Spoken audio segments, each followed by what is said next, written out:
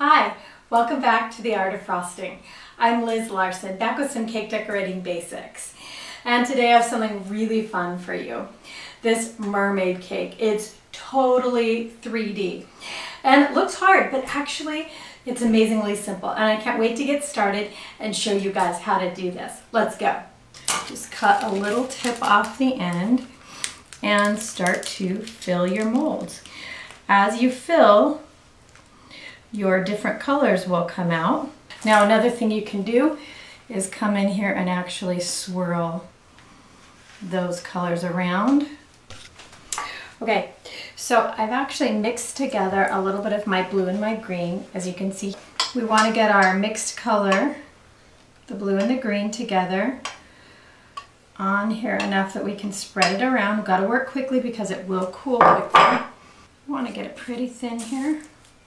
Come back in with your spatula and follow your line around with a lighter color or the same. I've got a little lighter blue. Give the tail a little definition. This will also give it some support. As you're working, your candy melt start to dry.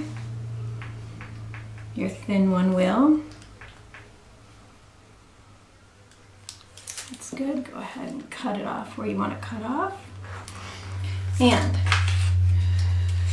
as it's starting to cool, you want to make sure it's not running. Go ahead and put your, there we go, put your cardboard under to give it support so that it will dry with the fin shape that we want. The next step is I want to make some waves. So I want to come in, give them a base, drop my line all the way up and around, and come back down. So I've actually warmed up my chocolate just a little more. I want a little more smooth. This time I'm not going to let it cool. I'm going to put my white right in. And use my skewer trick to blend. So you can see there's lots of ways to do this here. So we want to go ahead and cut. And remember we need to cut down two layers. See how nice and easy that came out? And what I want to do is kind of sculpt around her so that I can get some height in the back. So what I'm going to do is actually see where her hands are. I want her hands to be just like that, like she's supporting herself on the rock. So what I'm going to do is cut away a section here, another section maybe a little bit closer to her, and not so deep in. So I've mixed up my uh, rock color in advance here. Crumb ice on there just to hold everything down and to fill in the cracks is fine. So I've got my quick icer here and I'm gonna go ahead and start going around. Then hopefully, really all I'll have to do is come in just a little bit and put on some of those harder edges. I'm gonna come in with my spatula. Now normally you would see me use a bench knife here, but I don't want that super smooth. I'm actually gonna move back and forth. Be careful here not to be lifting your spatula up and down. You may pull your icing off, but see I'm kind of getting that rough, rocky look, and that's exactly what I want. What I want to do is put a border. I filled this with my teal, green, and blue, and some white, very pale. And I'm going to create a reverse shell with a big C here as a wave on the bottom. Next, it's important that we position our doll. We want to get her hands back first. Get her tipped. I want her tipped forward just a little bit. Now, I am not putting saran wrap on her legs. I know many of you are going to complain about that, but this is a clean doll, fresh out of the box. She's plastic and saran wrap is also plastic. That's just about where I want her. I'm sorry, I just realized you can't see her. We want to start just behind her hips. Come out and down the front. Back down. See how I'm getting lots of colors in there? Want to come back in right just below her waist. I'm gonna come give her some knees and down. I'm gonna start at the top with my lightest pressure and squeeze down to heavy pressure towards the middle. And I'm gonna do that for all five points and put a number four writer back on.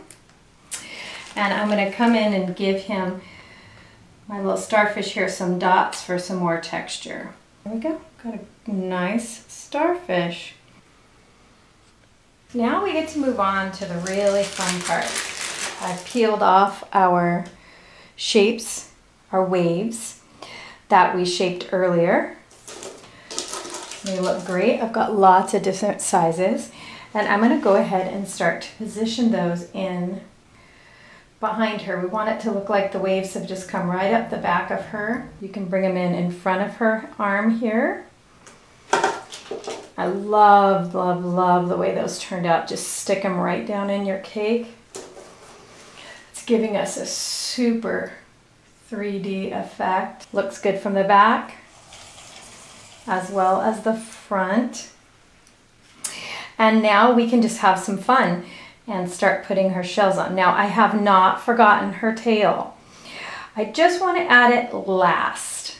Now I'm going to hold back a couple and show you how we're going to peel off this tail. Now I've made two. And there we go, look how perfect that is. Backside is pretty as well. And we're just gonna tuck it right in. See how my marshmallows have come up handy because they are supporting that ever so slightly.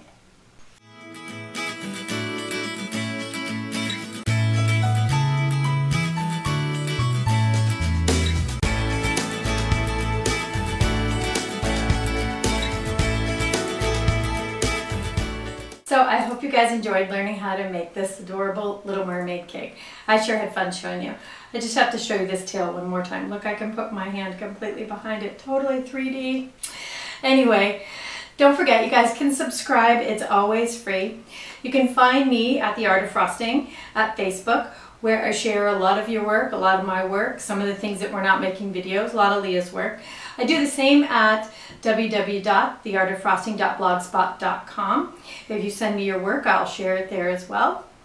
So there's lots more to come. We'll see y'all again soon. And as always, thank you so much for watching. If you like these videos, share. It helps me a lot. See you again soon. Bye.